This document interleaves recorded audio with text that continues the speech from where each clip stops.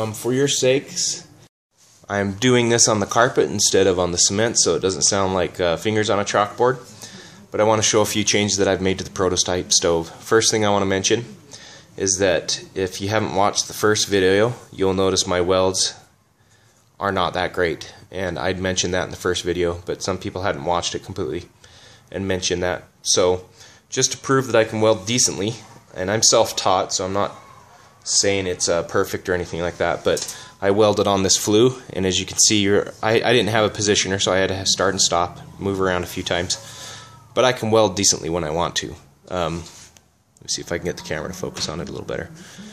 So if I want to spend the time on it and do it, I can. Um, this is a prototype. I don't really care, so I haven't.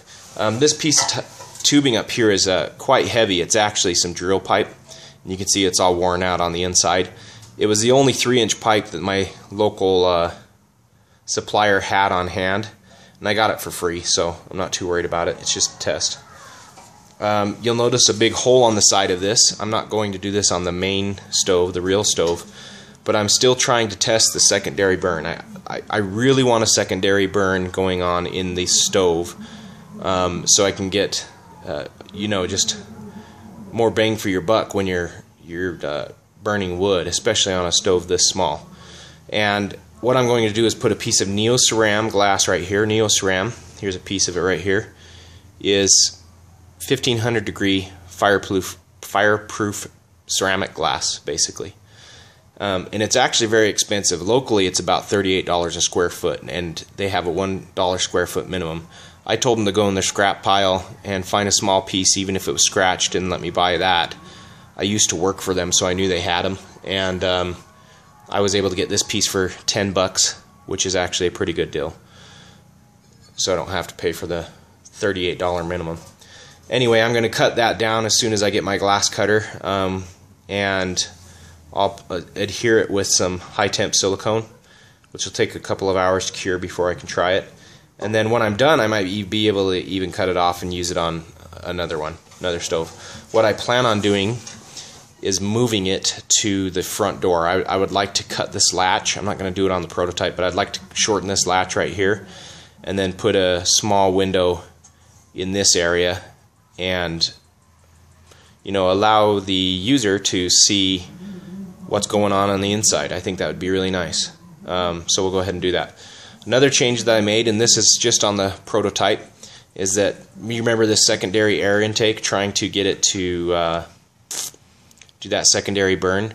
Well, I want to test it individually, independent of the second area that I created. So I just put these little flaps on here so I can open and close them. The other one is down here on this side. I can open and close it and test them individually. Um, inside, this, this tube right here is coming from this area, and that tube back there, which is kind of hard to see, is coming from this one. Um, one of the changes I didn't mention in the previous video that I had made was the were these nuts. I took a couple of nuts and just welded them on here and here, just did a little plug weld on, on the center of them.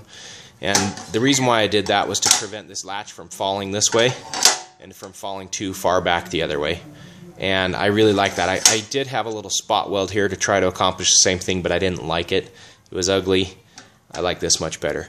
The final change that I've made on the stove for tonight, until I can uh, get the glass cut for this, the ceramic I should say, is you'll notice that this uh, latch piece right here is angled.